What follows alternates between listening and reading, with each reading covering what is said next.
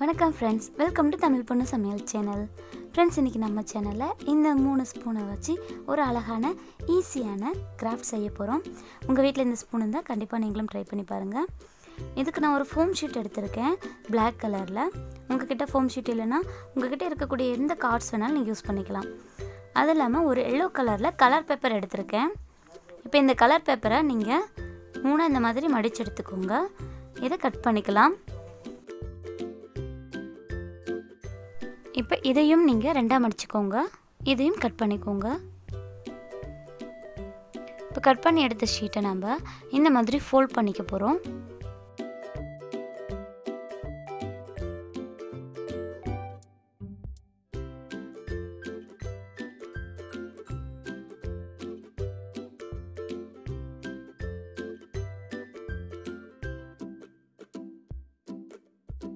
மடித்த பின்னாடி இந்த மாதிரி தான் நம்மளுக்கு அந்த பேப்பர் இருக்கும். இதை இந்த மாதிரி அழகாக வளைவாக வெட்டிக்கோங்க. அப்போ தான் பார்க்குறதுக்கு பூ மாதிரி இருக்கும். பார்க்க பூ மாதிரி இருக்கு இல்லையா? ஸோ இதே மாதிரி நம்ம இன்னும் மூணு கட் பண்ணிக்கலாம். நெக்ஸ்ட் இந்த மாதிரி பேப்பர் கப்ஸ் இருக்கு இல்லையா? இதில் வந்து ஒரு ஆஃபாக கட் பண்ணிக்கலாம். பார்க்குறதுக்கு ஒரு பூந்தொட்டியோட கப் மாதிரியே இருக்கும்.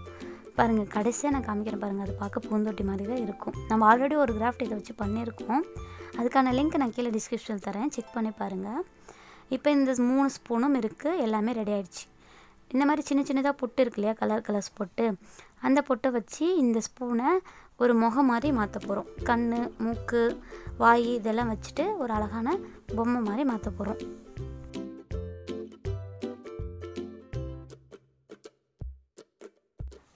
குட்டீஸ் யாராவது பார்க்குறீங்கன்னா பொட்டு யூஸ் பண்ணிக்கோங்க.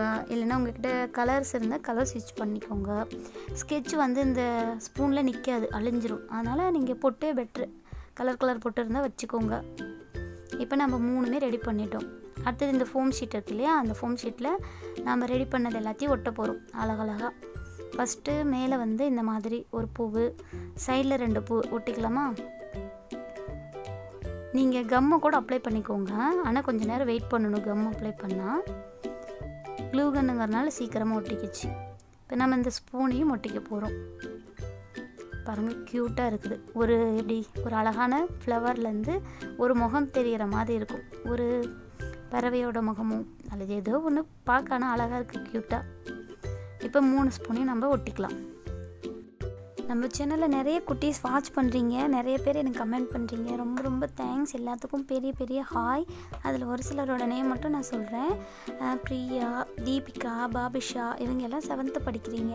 அப்புறம் வர்ஷா எயித்து படிக்கிறாங்க. ஸ்டெஃபினா சிக்ஸ்த்து படிக்கிறாங்க. எல்லா குட்டிக்கும் பெரிய ஹாய் நம்ம சேனலுக்கு கமெண்ட் பண்ணதுக்கு தேங்க்யூ தொடர்ந்து கமெண்ட் பண்ணுங்கள் பாருங்கள் மூணு பூ ஒட்டின பின்னாடி. பார்க்கவே ரொம்ப க்யூட்டாக இருக்குல்ல? நெக்ஸ்ட்டு நம்ம ஆல்ரெடி கட் பண்ணி வச்சுருக்கோம் இல்லையா? இந்த மாதிரி பாதி கப்பு அந்த கப்பையும் ஒட்டிக்கலாம். எந்த மாதிரி ஒட்டணும்னா பார்க்க ஒரு பூந்தொட்டிலேருந்து பூ வெளியில் வர மாதிரி ஒட்டிக்கணும். பாருங்கள் இப்போ பார்க்க அழகாக இருக்குல்ல? ஆனாலும் அதோட இந்த ஸ்பூனோட இது பத்தலை. ஸோ இன்னொரு ஸ்பூனோட எட்ஜ் எடுத்து நான் கட் பண்ணி ஒட்டியிருக்கேன். பார்க்க வந்து அந்த தொட்டியிலேருந்து வெளியில் வர மாதிரி தெரியறதுக்காக. அவ்வளோதான் ஒட்டியாச்சு. இருந்தாலும் இன்னும் கொஞ்சம் அழகுபடுத்தலாமா? இதுக்கு இலையெல்லாம் வைக்கலாம். நான் இப்போ ஃபோம் ஷீட்லேயே வந்து பார்த்திங்கன்னா green colour foam sheet use பண்ணியிருக்கேன். சின்ன சின்னதாக இலை மாதிரி கட் பண்ணி அதையும் ஒட்டிக்க போகிறேன் போட்டின பின்னாடி உண்மையாலுமே ஒரு பூந்தொட்டிக்குள்ளே வந்து செடி வர மாதிரி இருக்குது எல்லாம் நம்ம கிராஃப்ட் தானே பார்க்க அழகாக தான் இருக்கும்.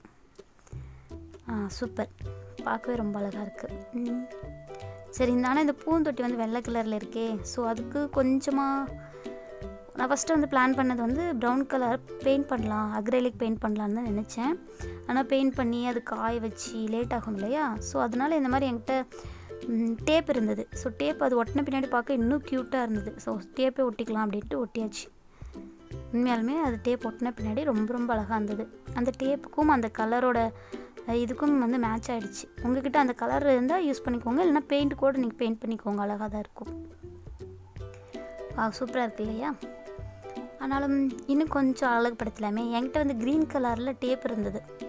பார்க்க லீஃப் லீஃபாக இருக்கிற மாதிரி டேப்பு ஸோ அந்த டேப்பையும் நான் வந்து இப்போ என்ன பண்ண போகிறேன்னா அந்த ஸ்பூனோட தண்டு இருக்கு இல்லையா? தண்டில். அதில் வந்து ஒட்டிக்க போகிறேன் அப்போ ஒட்டும் போது கரெக்டாக அந்த க்ரீன் கலர் பார்க்கறதுக்கு மேட்ச் ஆகிடுச்சு ஸோ அதை மாதிரி ஒட்டிக்கலாம். நீங்கள் இதுக்கும் பெயிண்ட் பண்ணுறதுனா பெயிண்ட் பண்ணிக்கோங்க. இல்லைன்னா நார்மலாக இருந்தால் கூட பார்க்க அழகாக தான் இருக்கும்.